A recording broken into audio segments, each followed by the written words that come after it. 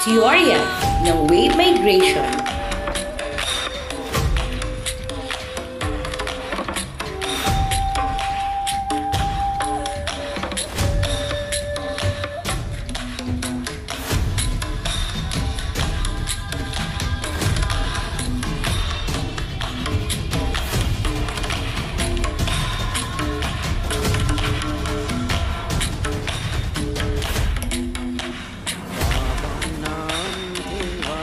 Pinaniniwalaang ilan sa mga ninuno ng mga Pilipino ang nagmula sa mga pangunahing lupain ng Timog Silangang Asya.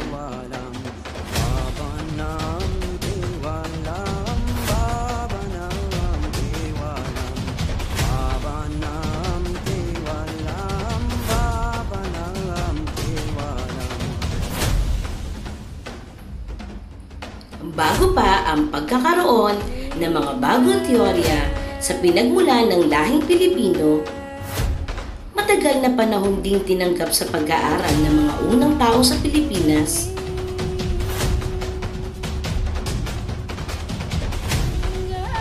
ang teorya ng wave migration ni Henry Otley Beyer.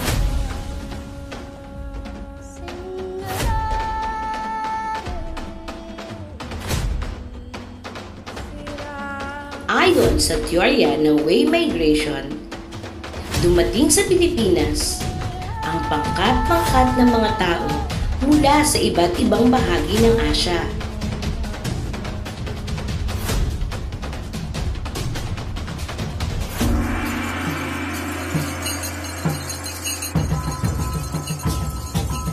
Batay rito, na unang nakarating sa Pilipinas ang mga negrito na naglakad mula sa Borneo gamit ang tulay na lupa na nagdurugtong noon sa Pilipinas at sa Asia.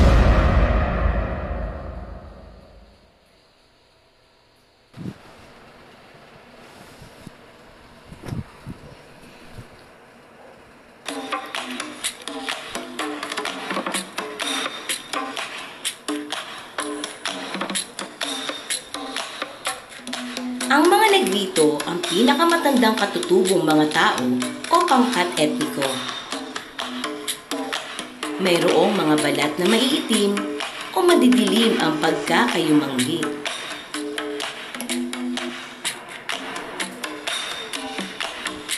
Mayroong mga buhok na kulot at tinatawag ding mga pygmy o maliliit na tao.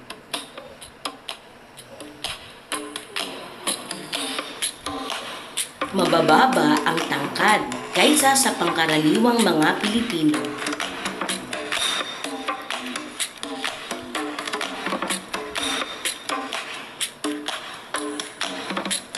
Sinundan sila ng ikalawang pangkat. Sila ang mga Indones.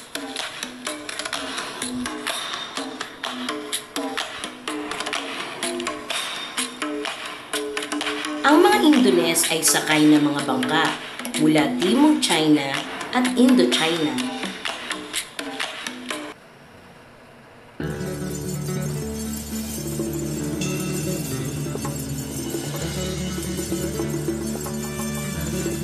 Ang mga katangiang pisikal ng Indones, maputi, unat ang buhok, matangos ang ilong, at matangkad.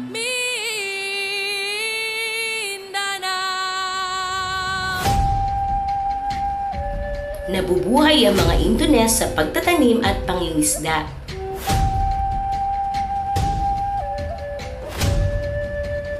At ang pangatlong dumating ay ang mga Malay.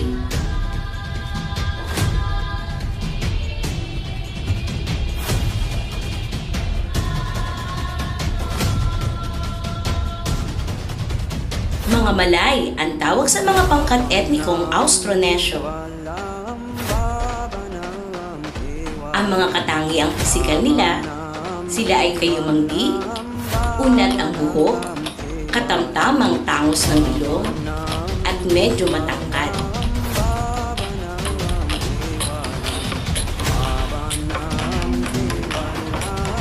nabuhay sila sa paggawa ng produkto at pakikipagkalakalan.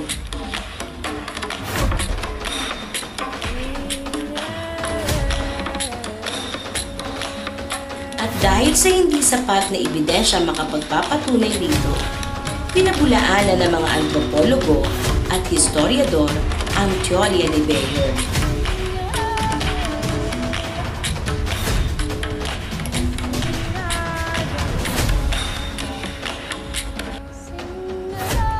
Maraming salamat sa panonood at pakikinig. Sana'y may natutunan kayo ngayong araw na ito. Muli, ako si Teacher Shelo, inyong guro sa ikalimang baitang. Paalam mga bata!